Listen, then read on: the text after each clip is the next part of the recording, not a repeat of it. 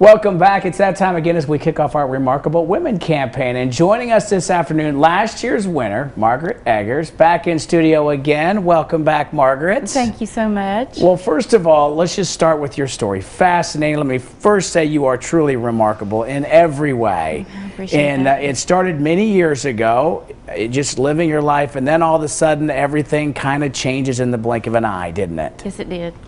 Um, as a single mom, uh, doing nursing school, and um, just going to church and trying to live a good life, and opportunities arose. I had so much support, and um, it just has worked out.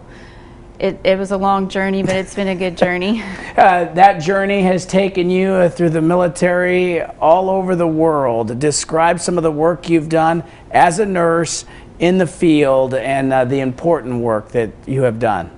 Um, been in the military, first the Guard, then the Reserves, but it's been 29 years. In September, I switched over and became an officer as a critical care nurse. Um, joined a forward surgical team, which is just a small team of surgeons, CRNAs, and nurses, and some medics. And um, we do field surgeries, and then we send the, the injured soldier somewhere else for more definitive care. So um, recently, the whole um, end of a 20 year war, um, we were a major part of that um, in Kabul. And uh, back up just a little bit, all of this was kind of based in your family and your desire to be uh, a mother to your child. Uh, describe that aspect of it.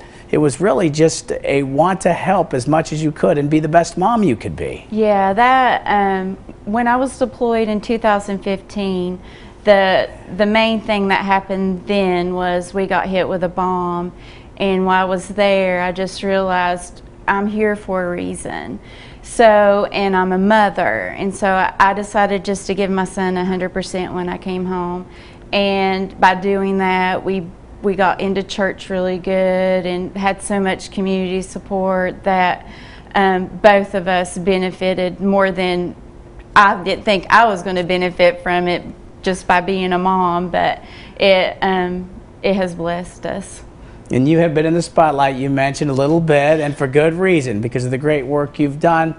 What, uh, and you mentioned you've been humbled by all of the experiences. What do you take from the last 15, 20 years uh, of uh, the experiences that you brought in?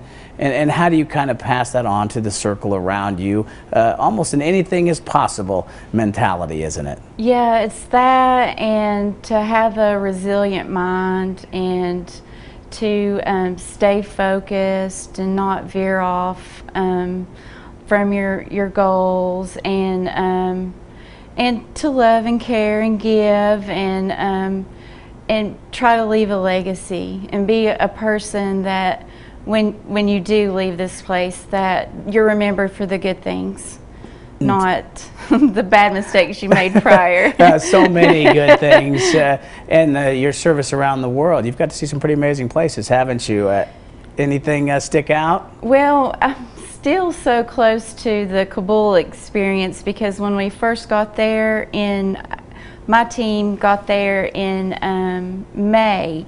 Um, I got to work with NATO forces. So at first it was like a little European town with all different kinds of um, armies. And um, the Norwegian army is who we partner with in, in the hospital. So I'm still waiting to go to Norway to visit them again one day because we became really good friends. Oh, I just love your story and I appreciate everything you've done. Thank you for your service and congratulations. You are truly, you have left a legacy and there's still more work to do. Thank, Thank you very much, so Margaret. much. I appreciate y'all. You can nominate a remarkable woman by logging on to WJHL.com and clicking on the community tab.